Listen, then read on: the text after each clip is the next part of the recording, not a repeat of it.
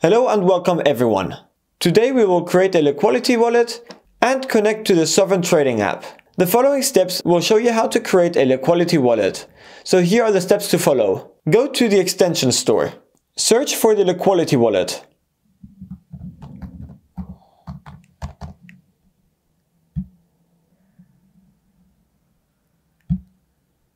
Then add it to your browser as an extension.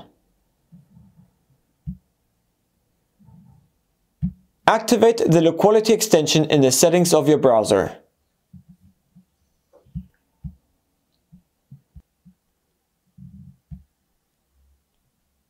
Accept the terms and privacy and create a new wallet. Choose the password, confirm the password, click on continue, Copy the backup phrase and keep it safe in case you lose access and need to recover your account. Congrats, you now have created your Liquality wallet. To prepare the connection to the Sovryn Trading app, you need to choose Liquality as your default browser wallet, then choose the RSK network.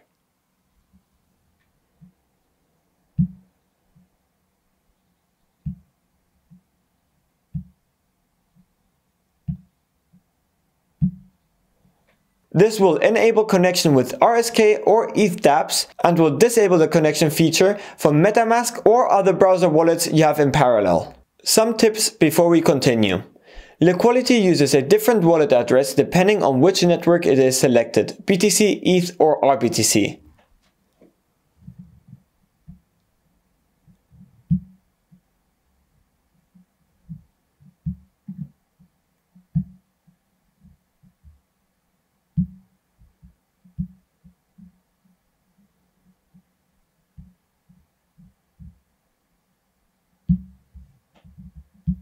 Also, make sure you have enough BTC to cover the minimum swaps. Currently, the minimum amount of swap is 0.005 BTC.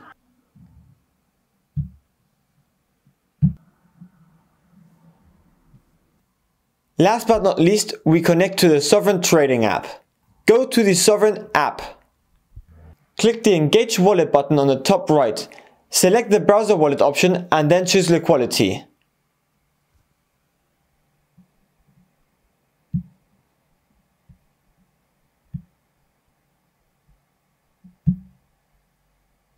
Click on connect. One last tip, if you want to make the Liquality wallet easily accessible and always visible, you can go to the extensions menu and pin it.